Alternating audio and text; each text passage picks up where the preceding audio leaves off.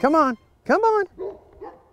Army veteran Michael Trost has endured so many surgeries. I know you want this big apple. This retired master sergeant hmm. lost count around 28, but years now into his recovery, he faces another major operation. Yeah. So I'm not lo- losing a leg, I'm gaining a thumb. So we're going to take that big toe and put it right here. And I went, oh my gosh, that was a round that went through there. The insurgent's bullet that ripped through Trost's notebook also tore into his leg. Another shot severed fingers on his right hand. Both flashes of a chaotic scene in Afghanistan. And Trost blew- first recounted up, almost four years ago face. from a wheelchair at a military hospital outside Washington, D.C. And it is my first time I've been wounded. So In how um, many years of service? 30. This veteran of combat tours in Iraq and Afghanistan explained the shooter opened fire with no warning. A rogue Afghan officer, Trost, had helped train. We followed the now retired soldier's recovery and homecoming to East Tennessee, complete with a barn raising by volunteers.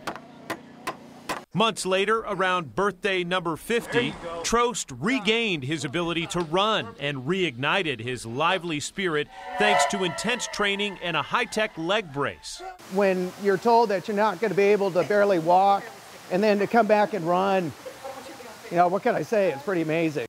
But two years later, after suffering repeated stress fractures and poor circulation in a foot that just isn't healing, this wounded warrior is now asking doctors to amputate just below his knee. You know, when I tell people like, you know, I'm having the surgery, they're like, "Oh, I'm I'm so sorry."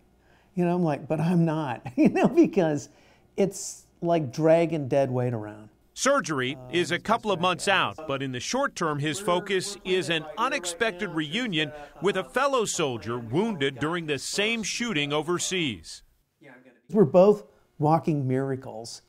You know, I don't know how many people, you know, get shot with four or five machine gun rounds and live. This photo, taken just hours before the attack, shows Trost pictured with a special forces group from Albania. The international peacekeepers joined Trost on patrol. They saw their captain gunned down in that surprise shooting that left a young corporal wounded alongside Master Sergeant Trost. And as we both were collapsed on the ground, we were both kind of looking at each other horizontally. And the first thing he said to me was like, "Are you all right?" Well, he got shot four times, you know, in both legs, um, in his face. That knocked out some teeth. In the last few months, they found each other on Facebook, reconnected, and Trost will soon welcome his Albanian friend on a visit to East Tennessee. It'll be powerful. It'll be very powerful, I think. In describing his journey during the last four years, this go to the former soldier turned hobby farmer uses words like lucky, grateful, and thankful. So the glass is always uh, half full to me. A friendship rekindled and the loss of a limb. For Michael Trost, they are his next chapters in a life regularly born anew. I want to eventually ride them. And so that's my goal. That's the long term goal.